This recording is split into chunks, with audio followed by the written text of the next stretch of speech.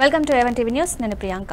Details చూస్తే నిర్మల్ జిల్లా పెంబి మండల కేంద్రంలో ఒక కోటి యాభై లక్షల రూపాయలతో నూతనంగా నిర్మించిన ప్రాథమిక ఆరోగ్య కేంద్రాన్ని జిల్లా సెకండరీ పాఠశాలను ఒక కోటి ఇరవై లక్షలతో నిర్మించి రెండు భవనాలను నేడు ఏపీ సోయం బాపురావు ఎమ్మెల్యే బొజ్జు పటేల్ జిల్లా కలెక్టర్ అభిలాష్ అభినవులు ప్రారంభించారు. పోతే ఏమవుతుంది నాకంటే ఎక్కువ అనుభవం మీకు ఉంది కాబట్టి ఏం చేయాలి? అది మీరు చెప్తే ఆ రకంగా రాష్ట్ర పక్షాన ఏమేమి చేసేది మాది. అదేవిధంగా సెంట్రల్ లెవెల్లో దీనికి సంబంధించిన అంశం ముఖ్యంగా అదే ఉంది.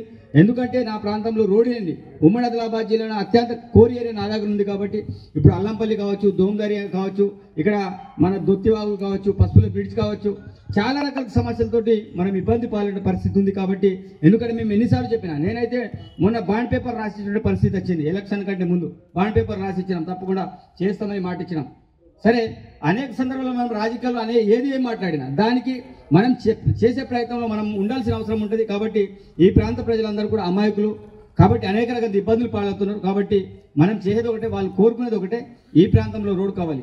అదేవిధంగా ఎడ్యుకేషన్ డిఓ గారు ఇక్కడ రావడం అనేది జరిగింది. నేను కోరుకుంటున్నా మళ్ళీ మళ్ళీ కోరుకుంటున్నా అవసరమైతే గవర్నమెంట్కి ప్రపోజల్స్ పంపించండి. మనం వీవీలని అపాయింట్మెంట్ చేయాలి సిఆర్టీని అపాయింట్మెంట్ చేయాలి. సింగిల్ స్కూళ్ళలో టీచర్లు వెళ్ళకుండా చాలా వరకు పాఠశాలను కూడా క్లోజ్ అవుతున్న విషయాన్ని